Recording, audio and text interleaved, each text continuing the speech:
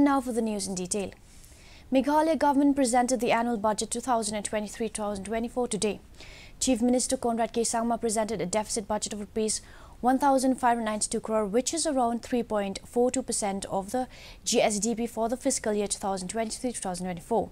Presenting the budget today, he said that the estimated total receipts will be rupees 21,781 crore and further informed that the state's economy has been growing at the encouraging pace despite the massive disruption caused by the pandemic. The growth rate for the period 2018-2023 is at 6.75%.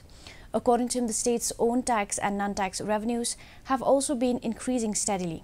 Chief Minister said that the estimated total expenditure for 2000 to 23 and 24 is at 22,022 crore, adding that this comprises 17,186 crore of revenue expenditure and 4,836 crore uh, of capital expenditure.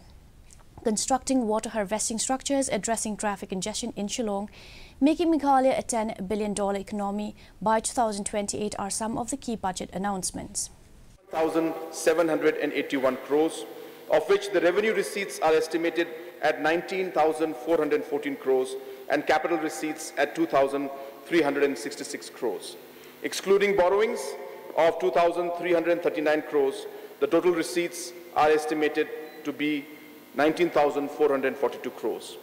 On the expenditure side, I have estimated the total expenditure at 22,022 crores, of which revenue expenditure is estimated at 17,186 crores and capital expenditure at 4,836 crores.